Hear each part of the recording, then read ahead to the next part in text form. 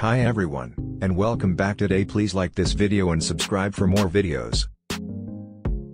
In this video we are going to tell you about Shelby Fetterman. But before continuing, don't forget to activate the notification bell to be informed of our new videos.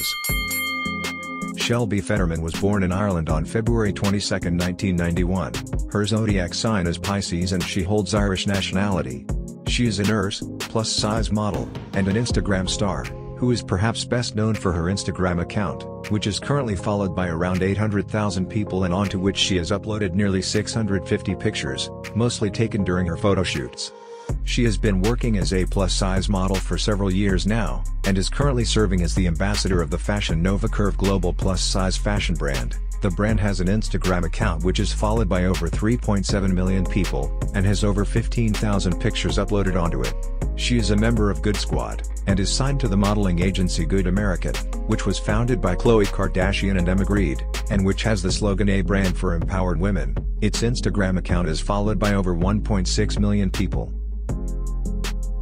But before continuing, don't forget to activate the notification bell to be informed of our new videos.